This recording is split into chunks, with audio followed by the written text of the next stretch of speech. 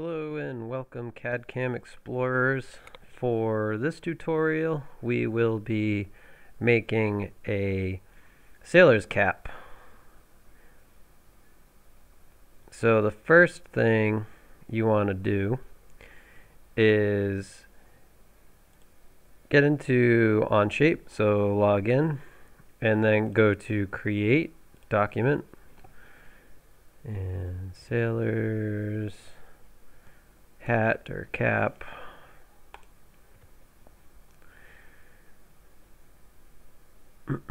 and um, so from here, you're in the 3D modeling area.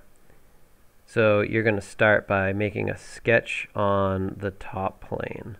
So what we're going to be doing is creating sketches and then adding 3D features, which are up here, to those sketches.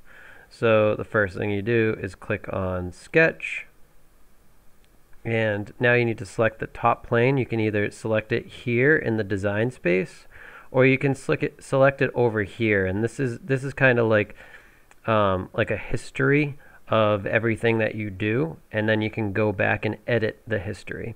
So to be in order to be in 3D space you need these three planes. Um, so we're going to click on the top plane and we're going to begin sketching. So to get normal to this uh, first sketch, because uh, sketches are 2D um, and looking directly at them can be helpful.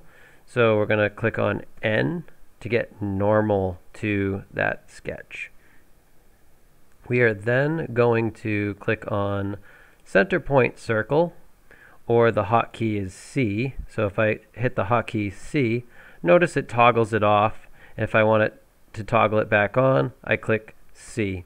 So if I create something and I want to get rid of it, say I create a circle up here and I don't want it up there, I'm just going to click escape. If I, and notice how it escapes out of that function.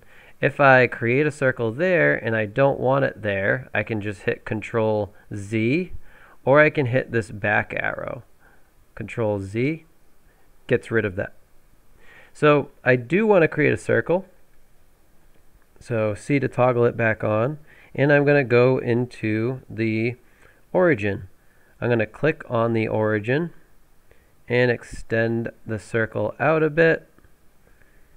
About there is fine. We're not we're not going to work with um, dimensions that need to be super specific, so we don't need to make sure that this is exactly 2 or whatever, because we're just we're just making some shapes here.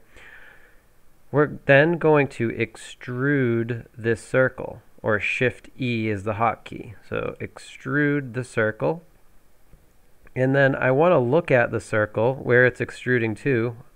So I'm going to arrow key up to see this circle.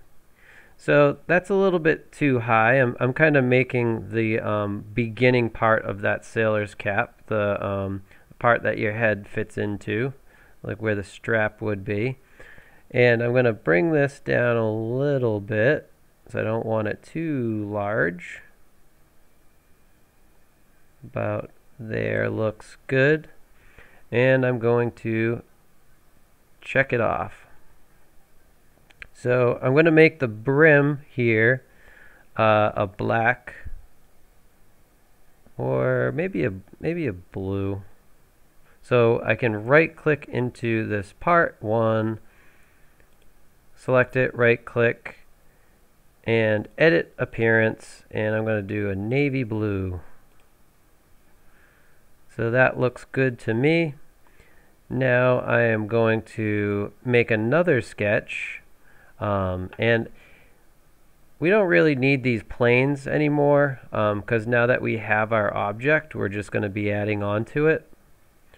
Um, so for now, I can just click on the P key and it hides the planes. So now the planes aren't in anywhere. But if I wanted to draw on a plane, I can just go over here and click on the plane again.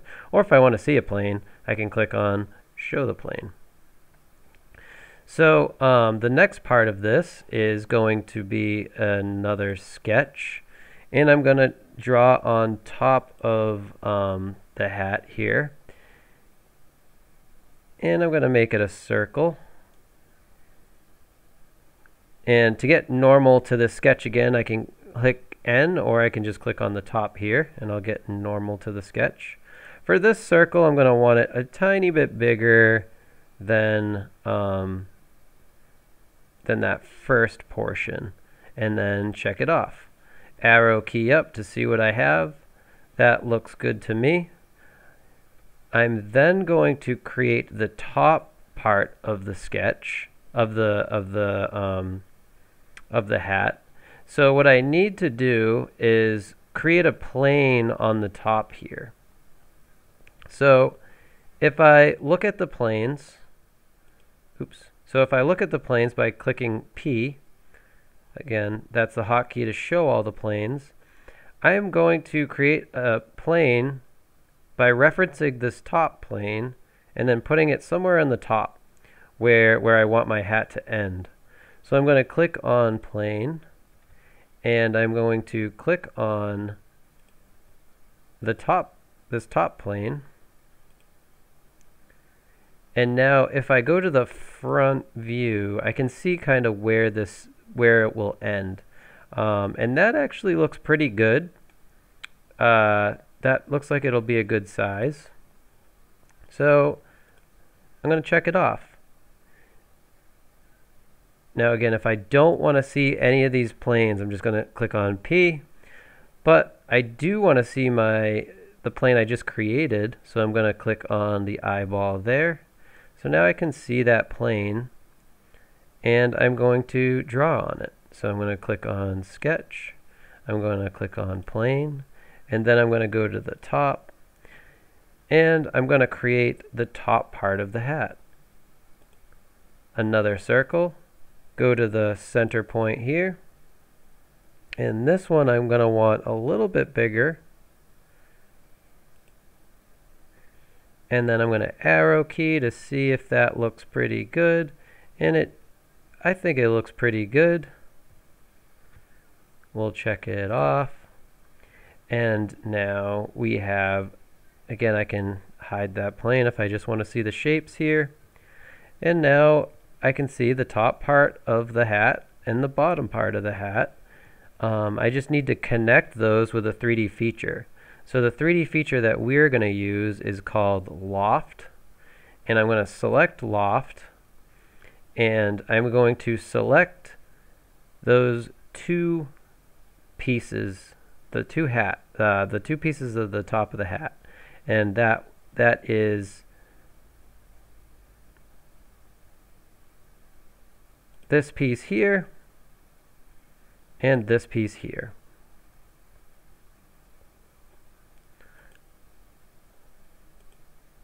Um,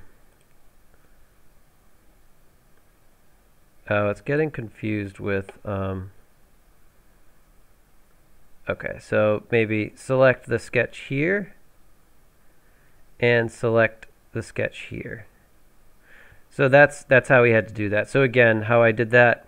Um, again, this is like your history. So if you're having a hard time clicking in the design space, you can highlight the design space by going over to your history. So again, it's loft. I am going to select this sketch here on the top of the, um, the bottom portion of the hat. And then I'm going to select the other circle that I created on that plane and check it off. So um, with this with this piece, um, I actually I actually wanted a different color. So I'm going to select the face and I'm going to select the top. I'm going to zoom out a little bit, right click, add appearance to two faces, and I'm going to select an off-white and I got the I got the um, the cap. So now I just need to add the brim and we'll be good. So I'm going to add the brim by going to the right face. I'm going to be going to the right face and I'm going to going to draw the, um, not the, sorry, the, the front, the front. I'm going to be going to the front space here. Doesn't matter, you could actually do the right, um, but I want to be in the front, and um, I'm going to show this plane.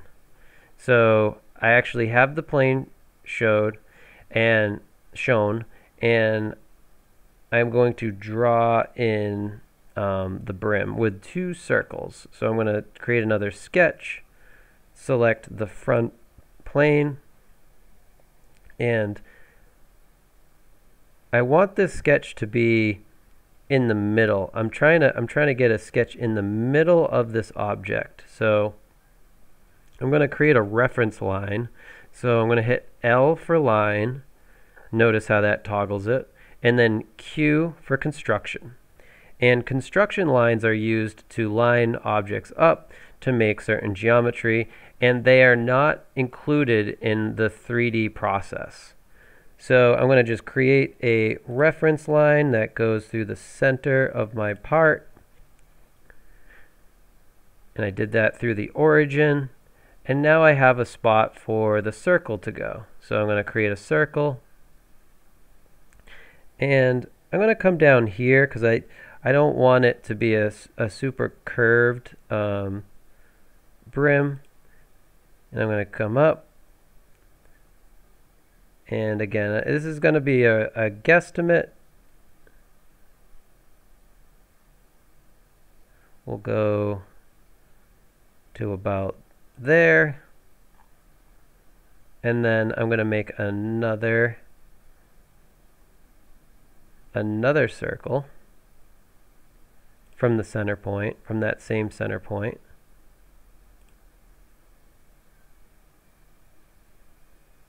and I'm going to make it to about there and now I'm going to create a couple lines so line command and I'm going to make this come down a bit to there escape to get out of that function and then the line command again and from there to there escape to get out of that function and now I'm going to trim with M. So trim is the M key or that scissor toggle. And I'm just going to trim out those two portions. And I'm going to extrude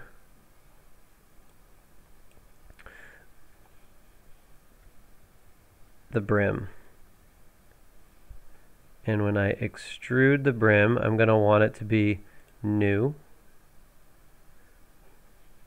And I'm going to look to see if that's how far I want it. And I'm going to pull it out a little bit more here. And then check it off if I look to see how my brim looks not too bad and then I can right click on the brim add appearance make it black make it whatever color you want um, hide the plane hide the origin, and now I got a little sailor's cap. Now I, I could I could keep going and cut cut things out underneath, but um, I think it's good enough for a beginner tutorial.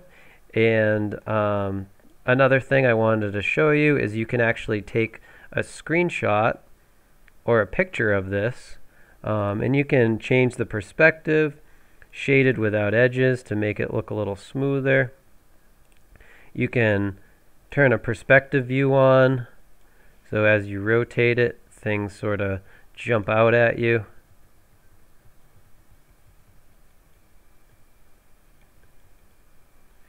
And um, to take a to take a get the picture of it, you're going to go to print and then download image.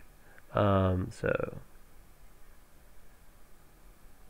download image.